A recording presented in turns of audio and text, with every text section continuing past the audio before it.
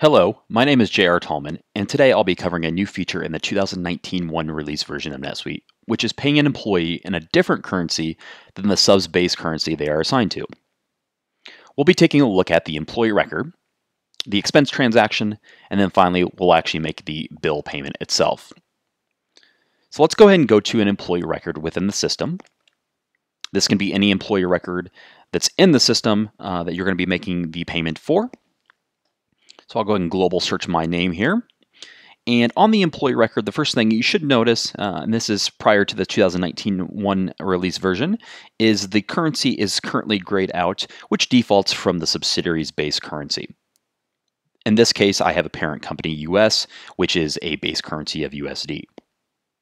What's new in the 2019.1 release version is underneath the Human Resources subtab, you'll notice a new sublist that is called Expense Report Currencies. If you go ahead and click on the expense report currencies sublist, here is where you can identify additional currencies to be used on the expense report and to make payment against.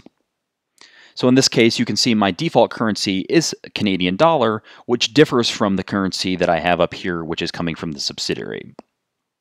Additionally, if I wanted to add ad additional currencies, I could do so, which are just set up in this system. So this is underneath list accounting currencies. Um, I have a variety of different currencies I could add. So if I wanted to add GBP, I could certainly do so here and make that available when I enter an expense report. So let's go ahead and save this.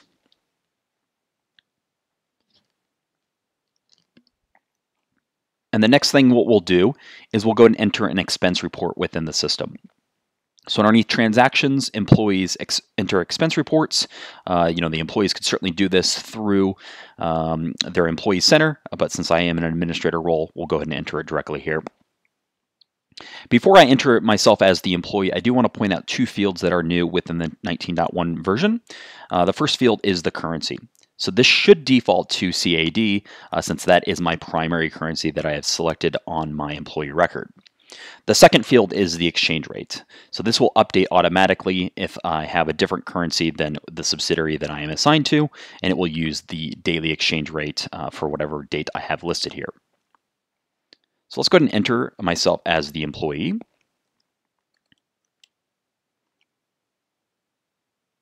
And you can notice that the currency automatically updates to Canadian dollar, which is correct, which I had on the uh, my employee record. The exchange rate also defaults, so I'm not going to go ahead and change that.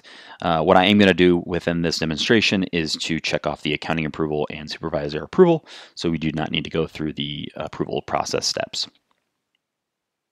Down below, I'll go ahead and enter uh, an expense report category that I have set up. I'll go ahead and enter travel for today.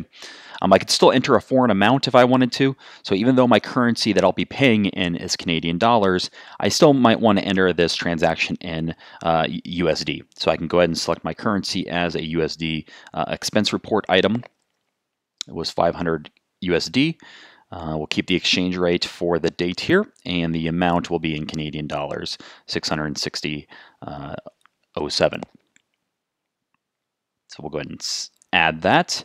And finally, we'll go ahead and save this expense report and take a look at the GL impact.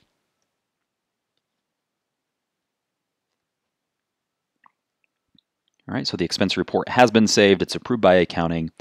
As mentioned, I can go ahead and go hover over actions and GL impact, which will show me the GL impact here. Uh, so this is $500 in the USD company, right? So I, again, I am in the USD company, uh, but when I make this payment, it will be that 660 uh, Canadian dollar. All right, so if I go to report, return to expense report, it should be ready to make payment. Okay. And I can go ahead and click on make payment if I wanted to. I could also go to transactions, payables, pay bills, or pay single vendor, right? Since this is going to treat uh, myself as a vendor in the system within this expense report. So for ease of clarity here, um, we'll go ahead and click on make payment button.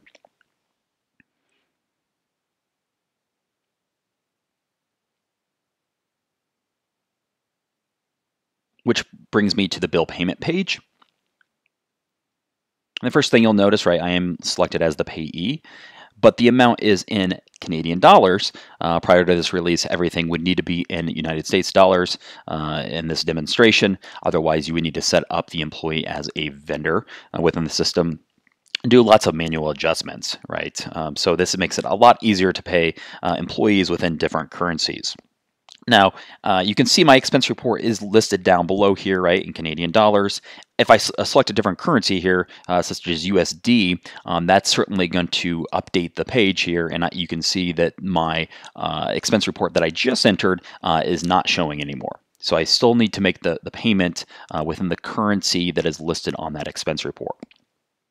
So I'll go ahead and change this back to Canadian dollar. And finally, we'll go ahead and select that expense report that we want to make to this employee. Uh, and I could easily uh, print this uh, via check. Uh, if you had uh, any electronic payments within NetSuite, you can make it uh, via ACH or any other means that you might have integrations with. I will go ahead and save this bill payment. And then we'll go ahead and take a look at the GL impact here.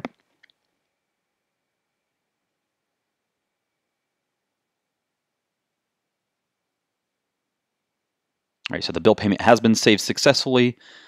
If you hover over Actions and GL Impact, you'll be able to see the GL Impact. I'm still in the legal entity of the USD, so um, it's still using that $500 in the back end, but the payment was made in Canadian dollars. So that's a quick overview of the new feature in the 2019.1 release version of NetSuite. Hopefully you enjoyed this video, and please visit my other videos uh, at your leisure. Thank you very much.